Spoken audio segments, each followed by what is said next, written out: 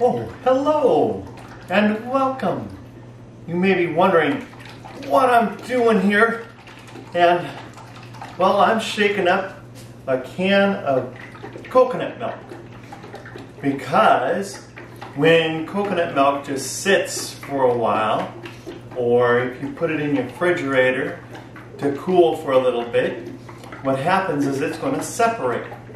So you got to give it a good shake, and sometimes I even throw it into the blender. Today, I'm actually making some coconut milk ice cubes because in my last video I did a wonderful peanut butter milkshake. Very, very tasty. And well, it used up the last of my coconut milk.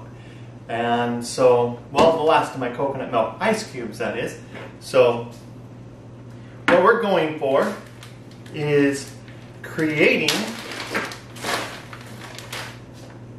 ice cubes that we can use. This, these are actually apple juice ice cubes that I use in some of the smoothies that I create.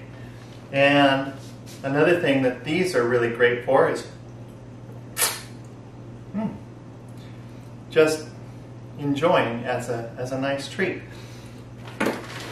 And actually you can do that with some of your other frozen fruit as well, like uh, frozen cantaloupe. It's very nice to just bite as a summertime treat. So anyway, that's what we're doing today. And I'm going to open this on up and see what we have. So this has been sitting out for a few hours, so it is looking very nice for pouring. I'm to just see if it pours in here pretty nicely. Nice and mixed. It looks like it's doing a pretty good job here. A mm, couple of clumps that, but I'm not to worry about that. I'm not to throw that on the blender for just a couple of a couple of clumps. So there we are. Spread that out a little bit, and we're going to throw that into the freezer. And then in a couple of hours, we can come back, throw all of those into a bag, and we'll have we'll have coconut milk ice cubes. Now, when measuring, these are obviously squares, and they're not going to fit into the measuring cup very well. So when I say a quarter of a cup of coconut milk ice cubes, we actually have two. I use two coconut milk ice cubes, or half a cup, I'm going to use four.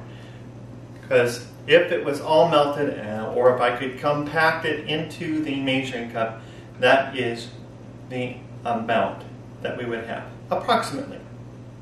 So, I'm going to throw these into the freezer and enjoy a peanut butter milkshake.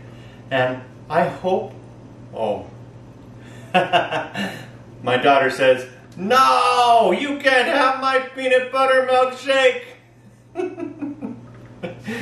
all right, so my daughter's going to enjoy the peanut butter milkshake. And I'll have to make something else, but that's all right. I'm glad that you came and joined me in the kitchen today. I enjoy making all sorts of things and I look forward to sharing some other recipes with you again soon. Please hit those like and subscribe buttons and help us out here on our channel. And thank you very much. Have a nice day. Bye-bye.